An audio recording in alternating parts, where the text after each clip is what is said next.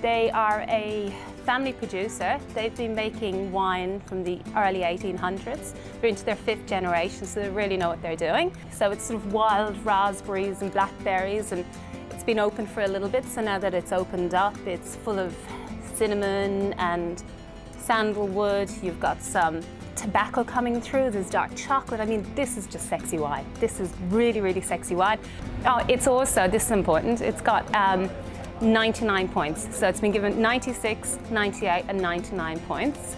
This is a full-bodied wine, so anybody who enjoys sort of a Grenache or a Shiraz, look, I think you're going to do this with some amazing lamb. Some lamb with lots of garlic and rosemary. You're probably going to, you know, you can have it after dinner smoking your cigar. Do what you want. Get onto it.